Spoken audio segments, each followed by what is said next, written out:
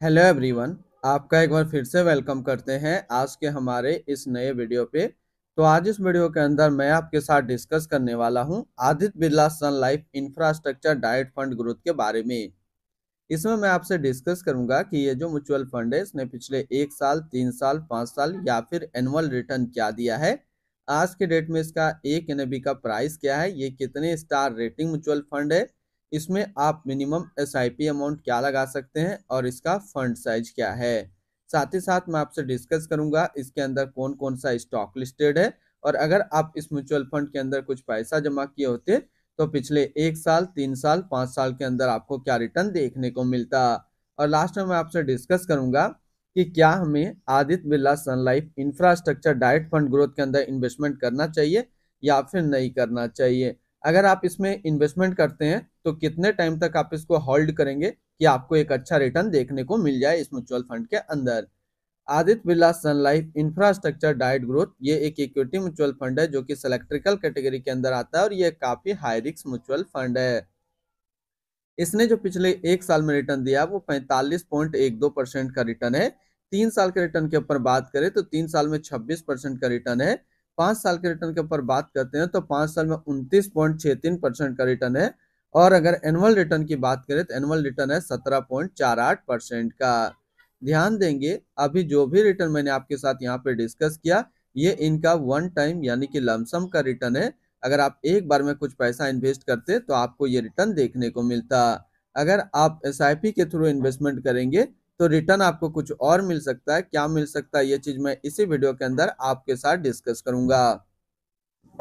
N के ऊपर बात करते हैं तो आज के डेट में इसका एक एन का प्राइस है, एक सौ आठ रुपया बावन पैसा। रेटिंग की बात करें तो ये one star rating mutual fund है। इसमें आप मिनिमम एसआईपी अमाउंट एक सौ रुपया लगा सकते हैं और इसका फंड साइज़ है बारह सौ बावन करोड़ का। अब बात करते हैं कि अगर आप इस म्यूचुअल फंड के अंदर कुछ पैसा जमा करते तो फिर आपको क्या रिटर्न देखने को मिलता? इससे पहले अगर आपने अभी तक आप स्टॉक पे अपना अकाउंट ओपन नहीं किया और करना चाहते हैं तो इस वीडियो के डिस्क्रिप्शन में मैंने अपना डीमेट अकाउंट का रेफरल लिंक दिया है। अगर आप मेरे रेफरल लिंक से ज्वाइन करते हैं तो फिर आपको अकाउंट ओपनिंग या फिर अकाउंट मेंटेनेंस का कोई भी चार्ज नहीं देना होगा।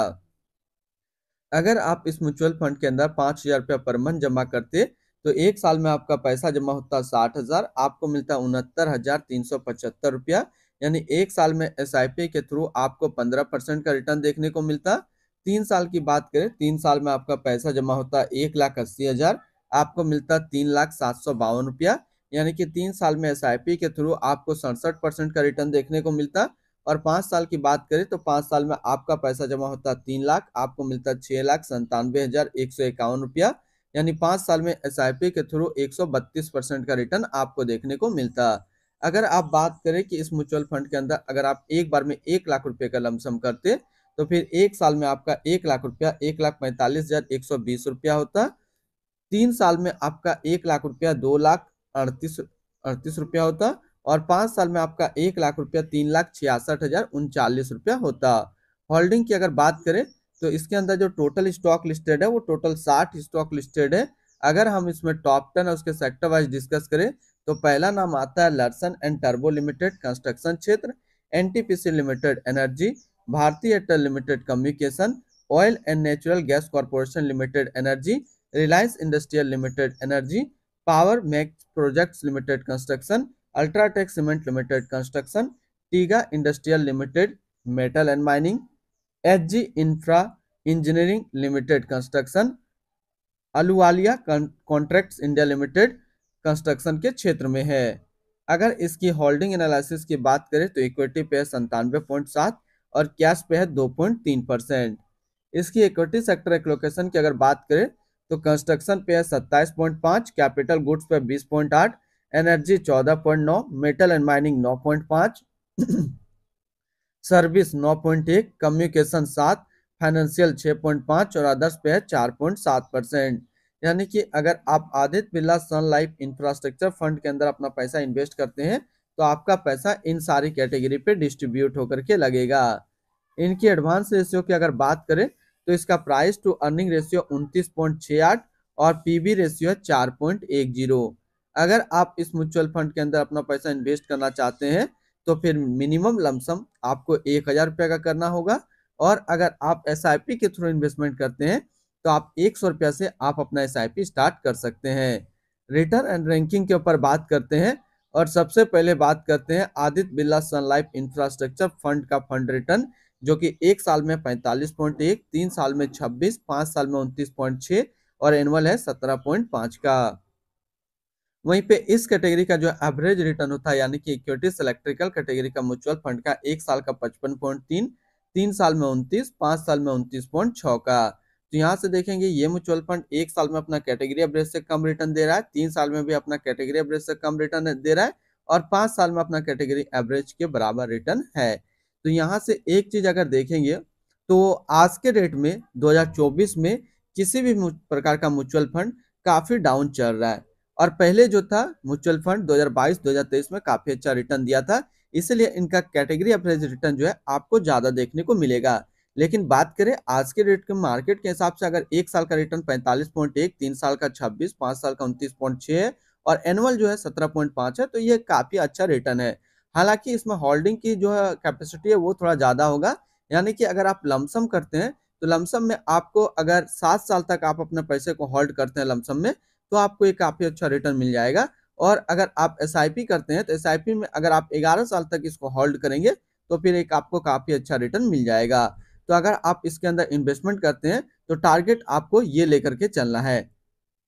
अब हम लोग बात करते हैं इनके एक्सपेंस रेशियो के ऊपर में। तो इनका जो एक्सपेंस रेशियो है, वो है एक पॉइंट तीन दो परसेंट का। एग्जिट लोड की बात करते हैं। अगर आप इन्वेस्ट किया हुआ पैसा तीस दिनों के अंदर निकालेंगे तो फिर आपको एक परसेंट का एग्जिट लोड देना होगा। और स्टम ड्यूटी की बात करें तो स्टम ड्यूटी है zero point zero zero five percent tax implication की बात करते हैं अगर आप इन्वेस्ट किया हुआ पैसा एक साल के अंदर निकालेंगे तो जो भी आपका रिटर्न होगा, उस पर आपको 20 परसेंट का टैक्स पेमेंट करना पड़ेगा। अगर आप एक साल के बाद इससे अपना पैसा निकालते हो एक साल में एक लाख पच्चीस हज़ार का रिटर्न बनता है तो फिर आपको साढ़े बारह परसेंट का टैक्स पेमेंट करना होगा। यानी कि शॉर्ट टर्म कैपिटल गेन पे आपको बीस परसेंट टैक्स देना है और लॉन्ग टर्म कैपिटल गेन पे आपको साढ़े बारह परसेंट का टैक्स पेमेंट करना है। इनके fund house and investment objects की बात करते हैं। तो Aditya Birla Sun Life mutual fund total assist में इंडिया पे नंबर चार पे रैंक करता है। इसका टोटल असिस्ट अंडर मैनेजमेंट है तीन लाख उनसाठ हज़ार पाँच सौ सैंतीस करोड़ का। Aditya Birla Sun Life infrastructure diet growth, ये एक इक्विटी म्यूचुअल फंड है जो कि लॉन्च किया गया Aditya Birla Sun Life mutual fund की तरफ़ से। महेश पाटिल, विनीत मालो अभी इस फंड का करंट फंड मैनेजर है। इस फंड का करंटली असिस्ट अंडर मैनेजमेंट है तीन लाख उनसाठ हज़ार पाँच सौ सैंतीस करोड़ का। और लेटेस्ट ने भी एक सौ आठ रुपया बावन पैसा। Aditya Birla Sun Life infrastructure direct fund growth, ये एक काफ़ी हाई रिस्क म्यूचुअल फंड है। इसमें मिनिमम एसआईपी अमाउंट एक सौ का सेट किया गया है और मिनिमम लमसम एक हज़ार रुपया का सेट किया गया है। अगर आप इन्वेस्ट किया हुआ पैसा तीस दिनों के अंदर निकालेंगे तो फिर आपको एक परसेंट का एग्जिट लोड देना होगा। और इसके फंड बेंचमार्क की अगर बात करें तो इसका फंड बेंचमार्क है Nifty infrastructure total return index. तो आज इस वीडियो के अंदर मैंने आपके साथ डिस्कस किया Aditya Birla Sun Life infrastructure fund के बारे में। फिर मिलते हैं हम लोग नेक्स्ट को इस तरीके का वीडियो की अच्छी जानकारी को लेकर के।